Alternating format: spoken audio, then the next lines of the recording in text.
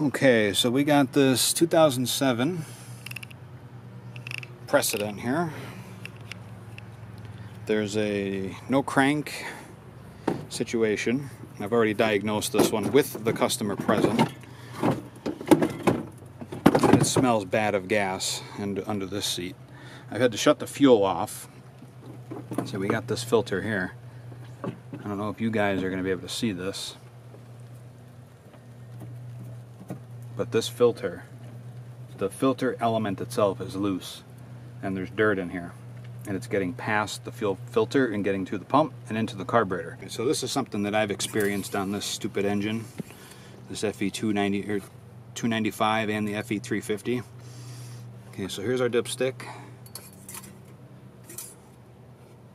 You can see we have gasoline and the oil. The oil is actually not in bad shape, but it's all the way up to the middle of the dipstick here. It's kind of hard to see on camera, but it was up to about here.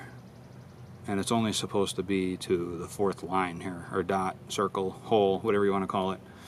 We have to uh, change the oil and filter. We have to change the fuel filter. And we have to remove the carburetor and clean it, reinstall it. And not to mention the Another one that the battery's not securely fastened in. Oh, I'm to have to lose the extension here. Oh, that not even tight. More times than I care to admit, I come across these spark plugs that are just not installed tight. Spark plug's dry. Wonder if this is full of... Whoop! Oh yeah. She's full of gas.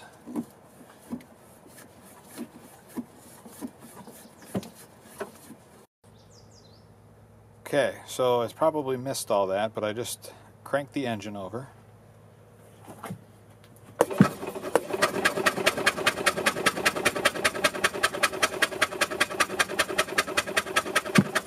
Nothing but liquid coming out of that thing.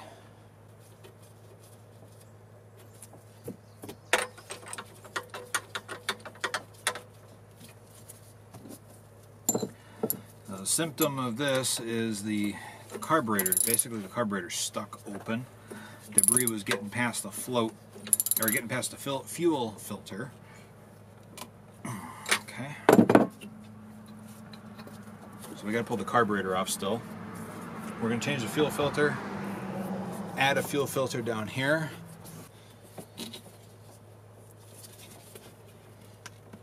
Ooh, we go.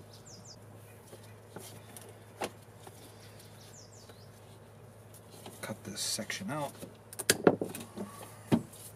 It's a little slip of hose clamp there. Put a hose clamp here. Ooh, these are on kind of tight.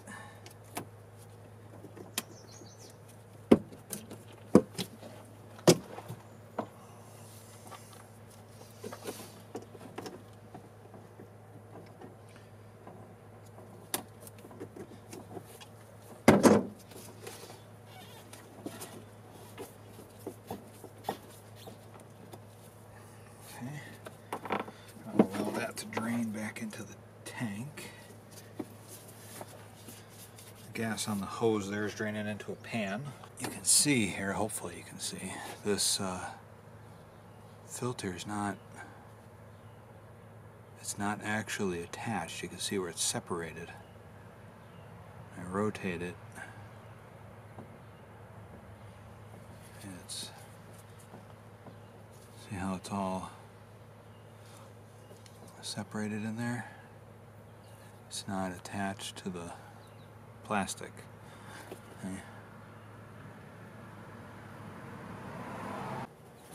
Definitely an old filter.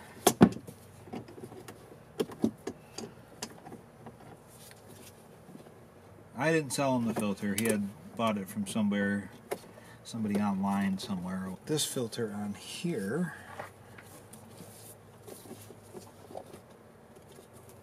I'm going to be taking it off again anyway, but I just want to, I'm going to be disconnecting it from the carburetor side.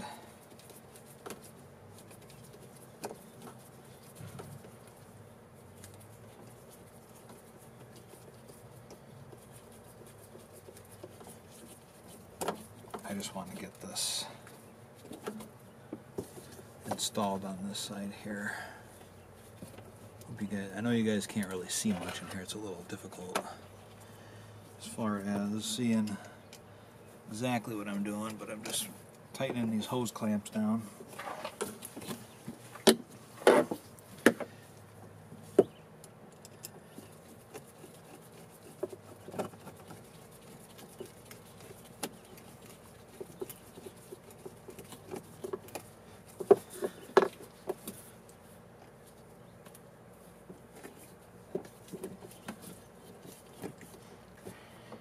Okay, now we're going to take this one off.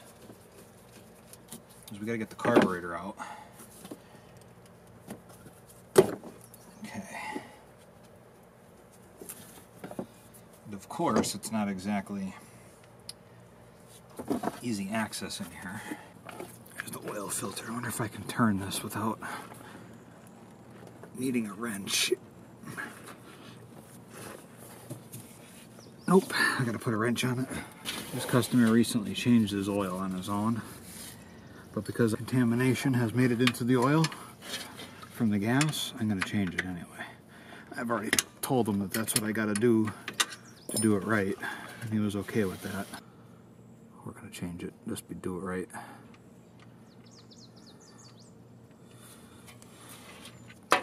Oops. Looks like I'm going fishing for that drain plug.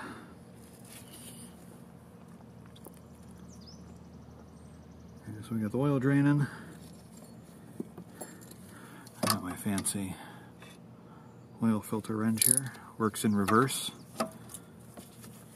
And I, when you go in reverse, it bites down. And I take my little oil container here that I cut in half. That's how I catch the dripping oil so I don't make a mess. Okay. 7356, it's the wrong filter. Alright, so we got the filter out of the way, got the little drain pan thing I made out of the way. And I'm just going to wipe off the face of this oil filter spin on zone here just to kind of make sure it's clean. We're going to take our filter, oil filter FIL0016 over on the site. Can see it's Red Hawk. It's my main primary supplier. Napa Gold, this is the wrong one. It should be 1356 if you're going to use a Napa filter, not 7356. That's the wrong one. It's too tall. I mean, it's not going to hurt it because it is a bigger filter, but you're going to make the oil pump work harder. And don't forget to smear clean oil on the face of the thing. The O-ring, we've got to make sure the old O-ring is off. Put it on. It doesn't have to be Gahunga tight, but you don't want it to loosen up, so just give it a couple of turns. There we go, it's nice and firm. Why do you wear gloves? Can never figure it out. Okay, so it's clean. The O-ring's on there. Now this is one thing I will say I like about lifted carts. I don't need the jack in order to work on them.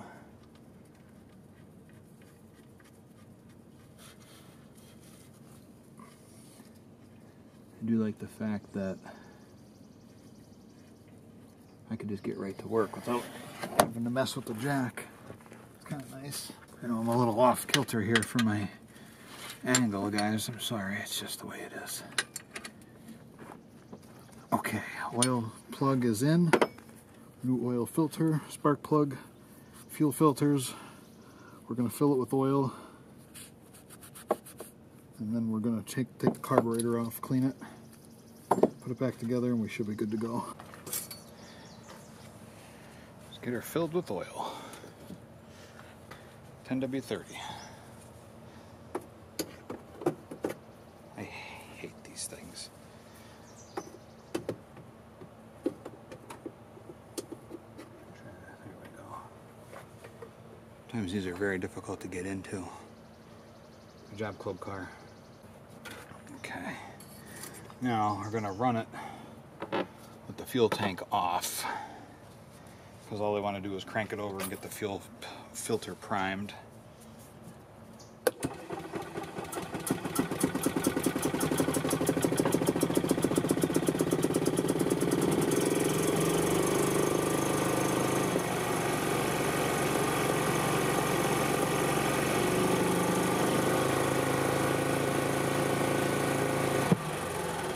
Okay, it's basically running off of whatever's in the carburetor. Just to give the uh, oil a chance to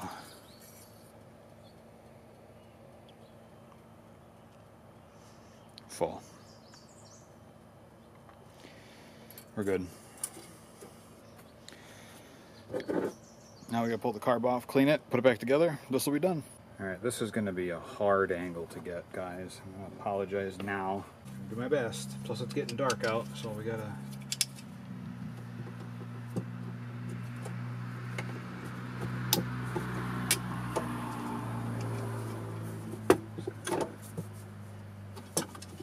basically remove the air intake hose from the cart completely because it makes it much easier to get in here it's out of the way. And you can see how that opens it right up. Okay, here's my little tray of bits. 10 millimeter bolt and stud that are there are not there, so we don't need to worry about them. There, we can then lift this up and out of the way. Pull this out.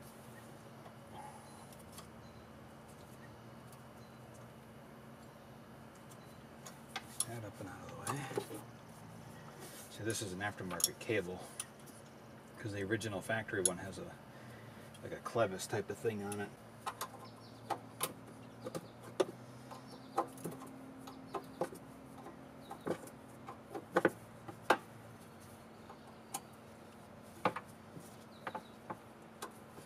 See, carts are getting more and more crammed together like new cars where there's barely any room to work.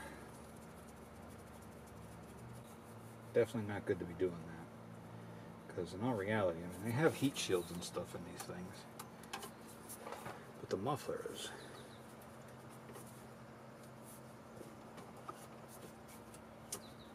right next to the gas tank.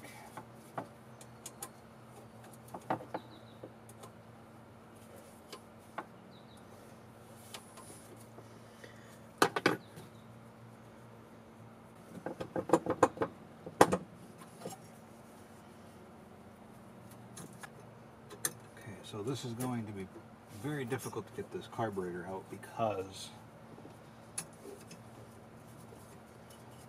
the um, lift kit that's installed is going to make it difficult. This club car has this stupid plastic everywhere in here. And then what I'm going to do is unhook that hose wrap it underneath the spark plug wire.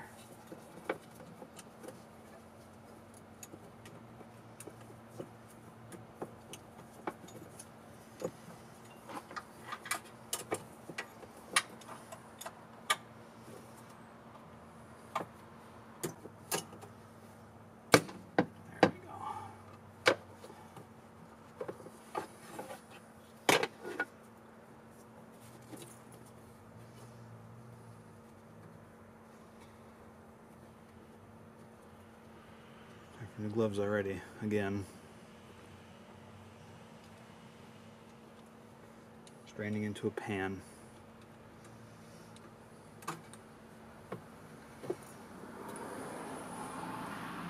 If you can see that, see all that debris right in there? Yep, that's part of our problem. You guys want to keep putting lift kits on these things, it's going to make it harder for us mechanics to get, to get these out. So gnarly Go wash it in the parts washer. Alright, so we got the bowl. Here's the bowl nut and washer. Washer's in good shape. I throw everything in the bowl. Take this, throw that in there, throw that in there. So here's the valve. Throw that in there. It's proving to be a bit of a pain. Okay, this screwdriver slotted in. There we go.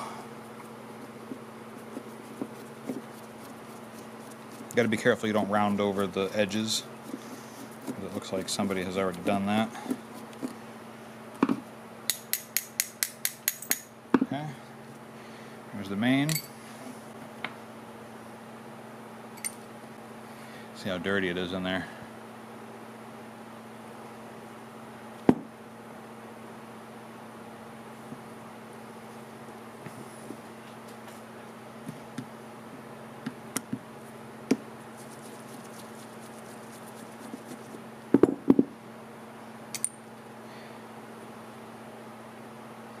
Pretty much it. See, this doesn't come out. You can see it's only left, right, center, roughly. So now we're going to take this over to the parts washer and give it a good cleaning before we start spraying it with carburetor cleaner. This stuff here we're not going to clean with the parts washer, we're going to do that with carb cleaner. Here is body's all clean. I just cleaned the inside, the internals with some carburetor cleaner, Gumout carb cleaner. I'm not crazy about this brand. There's other brands that I think work better. Probably kill me faster too, but I've gone through every orifice here and cleaned them out. So now I'm going to go take this over to the parts washer and clean it. Alright, that's much better. Take uh,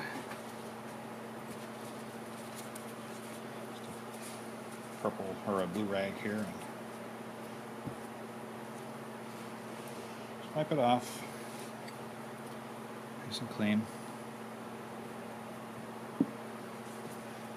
Now the float bowl, or the bolt, the float itself, I typically just wipe these down with the rag. I don't really like to use any carburetor cleaner on them unless there's some stuff that's stuck. I just like to wipe them down just so clean, wipe off, because I don't want that rubber to get deteriorated from the carb cleaner itself. I've had the carburetor cleaner destroy those little rubbers on those.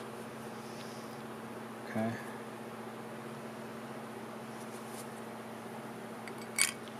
Put that in the float. This is clean. Just kind of dry it off a little bit here.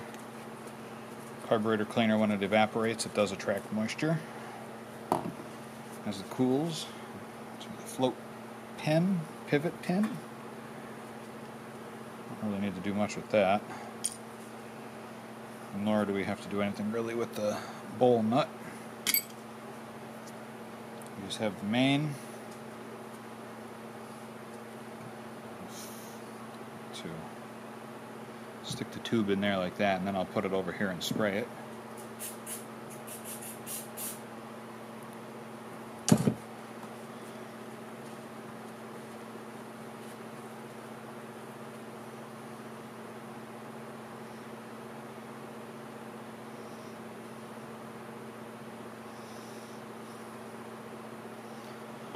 I'll hold it up to the light.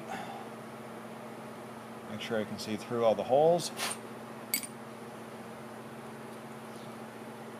Rinse and repeat.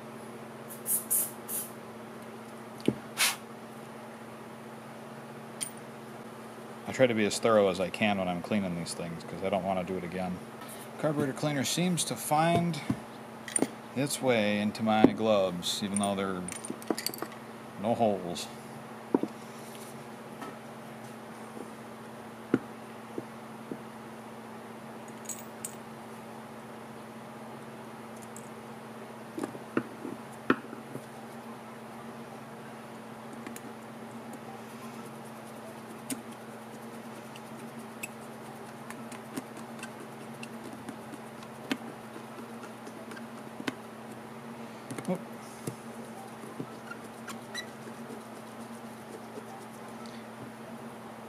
Just snug. That's all you gotta do, just snug.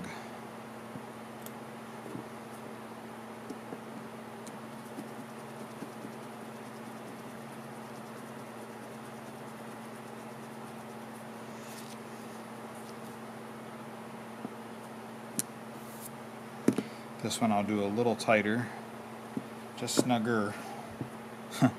that's even a word.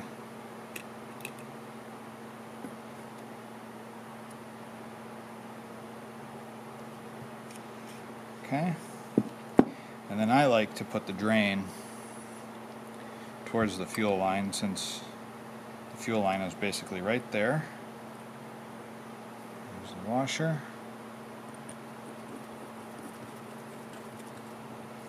Okay. Here we go. Let's go put, put it back in the cart. See if we can put this in here without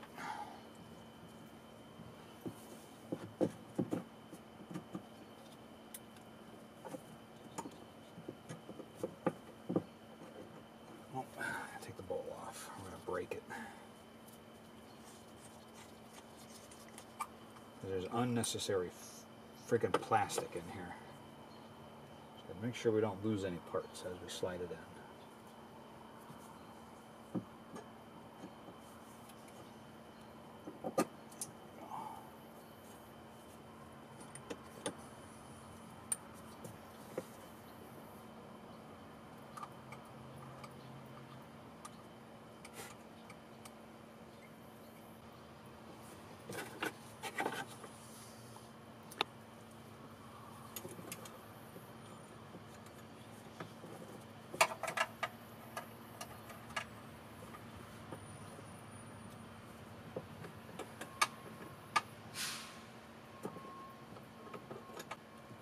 Okay, there we go.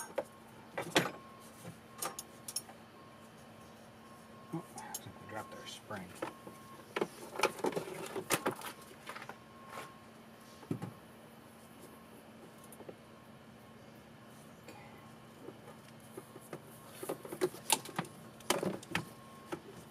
We have retrieved our spring.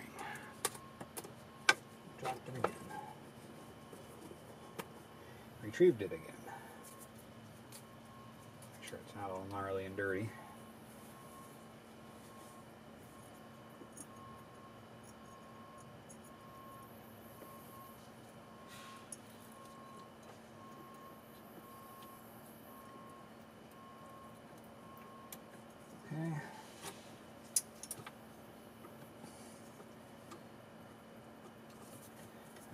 Throttle body, throttle is reattached.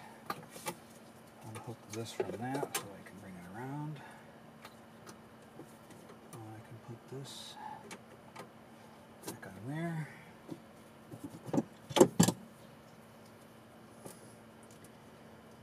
This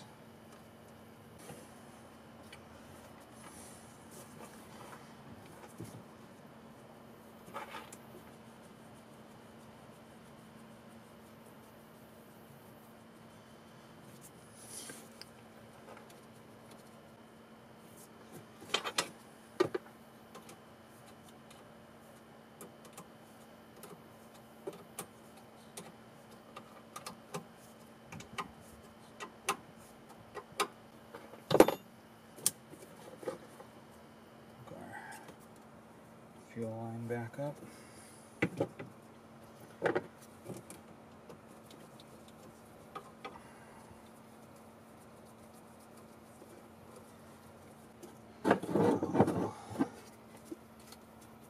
Install our shroud here.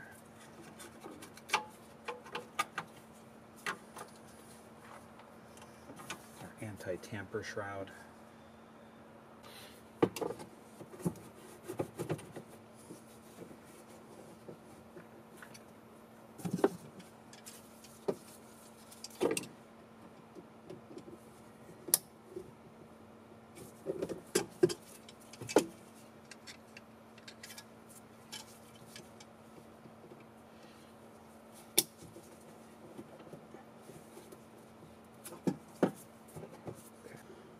We're in service mode. I'm just going to turn the fuel line on.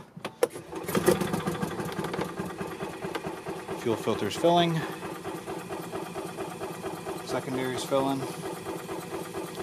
Carburetor's filling.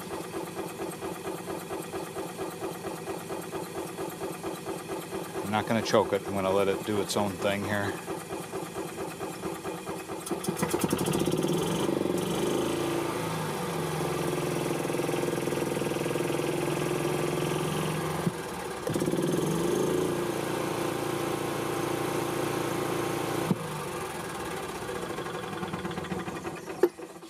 That is a success.